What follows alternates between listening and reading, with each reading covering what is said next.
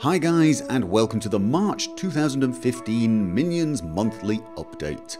Uh, in this video I'm going to tell you what has gone on and what is coming in the near future. Now, this time around I'm actually going to start with what is happening next week because next week is going to be a bit of a strange week. It is Easter holiday here in Norway and Easter is actually a pretty big holiday here, almost as big as Christmas. A lot of people take off time from work, the schools are almost always shut, and people take their families, go off to the mountains, visit other family, and so on. And so, of course, I have my kids here for the whole week. As you can imagine, that will make recording anything new pretty much impossible. You know, I'm not not going to have uh, Let's Play Fallout New Vegas with kids screaming in the background. So it's going to be very difficult next week to actually have any new recording. The good news is, if you're a Witcher fan, I have played The Witcher pretty far into the game. I'm close to finishing the game and I, I have easily enough footage to release one video per day. All I have to do is edit it, render it, and upload. Now I can do that. I can do that with the kids flying around the house. I can get that done. It, it shouldn't take too long, and you know, I, I hope to get one episode daily. Great news if you're a Witcher fan. I do understand not so great if you're not. And I do apologise, but there's not a lot I can do about that. I mean, the kids are here, and to be honest, I'd like to spend a little time with them as well, do a few sort of holiday things with them and uh, you know that's that is how it is. I may do some live streaming. I may do some Skyrim mod testing. Yes, there might be some noise in the background, but that's not too big a problem for mod testing. So I may carry on with mod testing perma, so keep your eyes um, open for that. Um, but no real actual recording, no immersive Let's Plays. Oh, and if you guys could do me a favour, if people post things on the videos along the lines of where is Fallout New Vegas and so on because they haven't seen this video. If you could just link them to this video, that's one of the reasons I'm covering that right at the start. So thank you for that.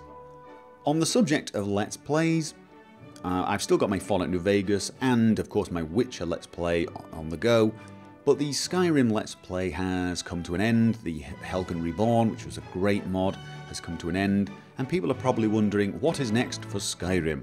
Well, I'm thinking of doing another Skyrim mod. I was thinking Wyrmstooth, but I'm open to suggestions. Of course, it will almost certainly be with Richard. I do know Richard does seem to be a little overpowered, and perhaps people want me to use another character. The problem with that is, all of my old characters are overpowered. They're all level 45 and above, which let's face it, in Skyrim makes them overpowered. Skyrim is a very easy game once you get to, the high levels. You tend to outgrow Skyrim, and seeing as every single character I have has, well not, has killed Alduin, has killed Alduin or could kill him, that pretty, pretty much makes the rest of Skyrim reasonably easy, and it couldn't be any other way really if you think about it. I could, of course, start a new character, and I'm sure a lot of people want me to, but I'm a long way off that. I really am. I'm not saying never, but I'm not ready to start a new Skyrim Let's Play. Of course, I have played Skyrim an awful lot, pretty much to death. Um, and whilst the quest mods hold a lot of interest for me, the vanilla quests, not so much. And I'm not totally sure how well you could get a new character through without covering a lot of the vanilla quests. Now, I'm not saying never, because, you know, it, it might be interesting to come back one day in the future, start a new character, a completely different type of character to the ones I've played in previous games. So it may happen. But it's not going to be soon, so it's probably going to be Richard for whatever quest mod I decide. I am going to be finishing The Witcher. I'm going to play Witcher 2 immediately afterwards. And of course, once I finish that, hopefully Witcher 3 will have been out. You guys will have been able to play it. And I'll do a Let's Play of that, and you'll be able to watch that without spoilers. So that's the plan for that. Obviously, Fallout New Vegas is just going to carry on going. I'm uh, really enjoying that Let's Play. It, it sort of it moves between becoming kind of dark and then kind of amusing uh, from episode to episode. But it, it's just it's a it's a really fun game to play with that character with Jack.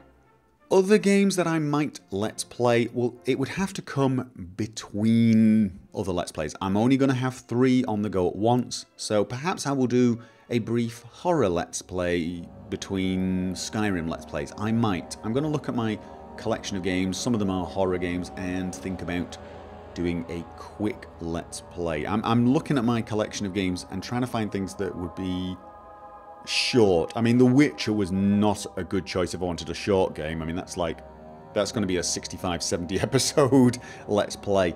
It's just, it's a big game if you do all the, the quests. But sometimes some of these horror games are between, you know, 15 to 20 episodes maximum, would be a good length. So I'm, I'm looking in, I'm looking into that, but I can't promise it. For things like game reviews, I am continuing to make the odd game review, and I have a few more planned in my head, so keep your eyes open for those. And as I've mentioned, I will be live streaming Skyrim mod testing. I'm going to be trying to do that at least once a week. Uh, not only is that pretty good, uh, a pretty good way to interact with you guys, it's also a good way for me to test and get feedback whilst testing, so I try things I might not have thought of, and then I can, of course, submit bug reports if I find them to the mod author. I will, of course, be live streaming games in the evening in my free time, but that is a little bit of a separate issue. Uh, right now, I've restarted XCOM. I'm using the latest version of the Long War mod.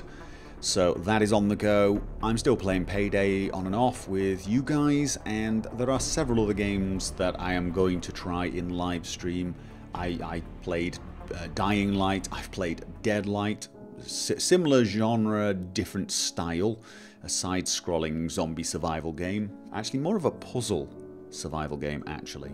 But I have plenty of others that may well be streamed, so keep your eyes open for those. But do remember, that is what I do in my free time, and it, could just randomly happen at any moment without any warning, and I do apologize for that. But again, it is my free time. In general community news, the website is still in development. I have seen the latest version and they're getting ready to give me a tutorial on how the hell to use the new skin and after that I will probably release it and then ask them to start working on the advanced search engine but at least then we will have a website that's skinned and kind of useful. The Steam group is still growing, we're close to 8,000 people now and of course I am still a curator there so if you want to follow me I will be recommending certain games. Uh, they will appear in your activity feed. Oh, and of course, you will find links to all of that sort of thing down below my Steam profile, the Steam group, and our TeamSpeak server. Again, get yourself connected to TeamSpeak, and if you want to join me for a game of Payday, uh, that's how that's how we do it. What I'll do is I'll start a game up and I'll say, right, I'm looking for three people, and I'll I'll say, right, there's the waiting room here's the password, first three people in, and we go. Off we go. So get yourself set up on TeamSpeak if you want to join us.